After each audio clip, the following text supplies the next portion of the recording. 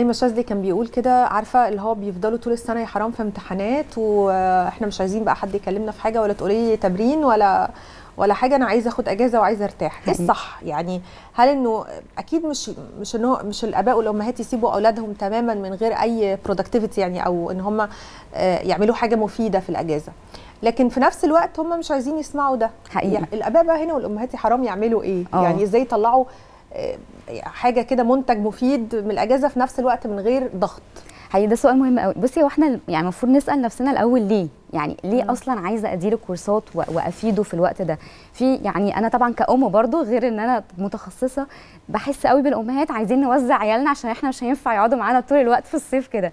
هل ده فعلا ينفع يكون هدف؟ ولا الهدف حقيقي إن أنا عايزة أنمي طفلي وأخليه عنده زي ما حضرتك قلتي أنمي قدراته أنمي مهاراته أكتشف مواهبه. فلازم أحط فكرة الهدف. أنا لو عندي هدف واضح هعرف أشتغل عليه. بعد الهدف أفكر بقى هعمل ده إزاي؟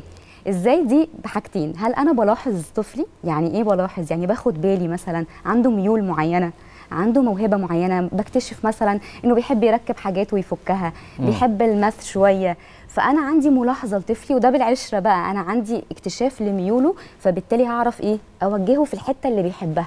كتير عايزين نوجه ولادنا زي المجتمع. أنا ده بياخد كذا فأنا هوديه. أصل هو بياخد. وده بياخد كذا أصل أنا هوديه. لا أنا مش هعمل زي حد أنا هعمل زي إيه؟ هعمل حسب ميوله في طريقه هو.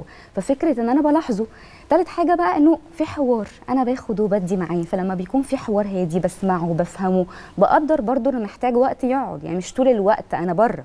يعني حتى مهم جدا إنه بالرغم من مشغولياتنا الكتير بالرغم إن أنا بع- بعمل له مهارات كتير لأ ال- الطفل محتاج وقت لبابا وماما. قاعد مع بابا وماما في ترابط بناخد وبندي بنتكلم زي أيام زمان كده بنسميه اجتماع العيلة يعني حتى في التربية. بنقعد وناخد بندي مع, مع بعض. ممكن يكون نص ساعة أو ساعة في الأسبوع مم. بس بحسب ده في الوقت. فده بعمله إزاي؟ من خلال أهدافي. أنا عندي هدف واضح وعندي كيفية عملت ده إزاي من خلال حوار ومن خلال ملاحظة طفلي. عظيم جدا. أنت إيه رأيك أصلا في تصرف الأباء والأمهات لما هم بيقسموا العام لا السنة مش العام الدراسي بيقسموا السنة لأولادهم؟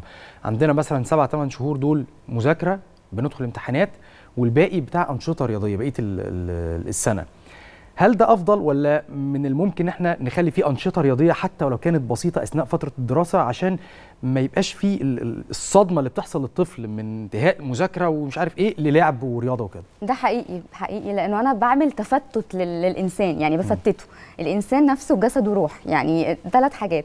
فأنا لما أخليك طول الدراسة عمال مفحوط مذاكرة مذاكرة مذاكرة وفجأة أعمل لك صدمة بقى يعني أروح أدخلك تقعد تستمتع بحاجات كتير وأرجع تاني في المذاكرة أفكر مش هيذاكر كويس أصلا.